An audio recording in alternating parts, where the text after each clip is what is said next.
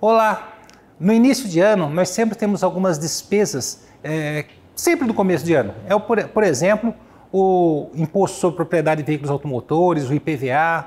Em março, em muitas prefeituras começa também o IPTU. Como é que a gente vai administrar isso daí? O IPVA, aqui no estado de São Paulo, ele tem um desconto de 3% para o pagamento à vista. Para quem tiver esse dinheiro, compensa você pagar à vista ao invés de pagar em cinco vezes. Por que, que compensa? Porque é como se você fizesse uma aplicação de 1,5% ao mês. Contudo, é importante você ter em mente que você tem que ter esse dinheiro disponível. Você não pode emprestar dinheiro para pagar o IPVA à vista. E isso daí é algo que você deve pensar em tudo que você vai fazer durante o ano. Né? Se você é, fizer um planejamento dos gastos do início de ano e perceber que você não vai conseguir fazer esses gastos dentro do seu orçamento e que você não tem uma reserva para isso, você pode fazer um empréstimo. Mas que tipo de empréstimo? Um empréstimo aos juros mais baixos que você puder. Um empréstimo consignado, por exemplo.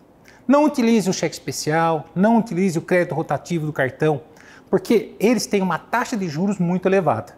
Então, o planejamento começa com você fazendo um orçamento para esses gastos que você vai ter no início de ano e, com isso, saber o tamanho do montante. Se você vê que você não tem condições de encaixar dentro do seu orçamento, faça um empréstimo a juros baixos e divida lá para pagar durante o ano todo.